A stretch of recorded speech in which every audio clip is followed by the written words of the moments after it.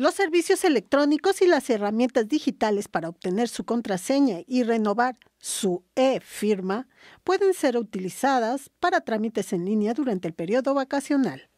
Para ello, se puede visitar el sitio https doble diagonal www.sat.gov.mx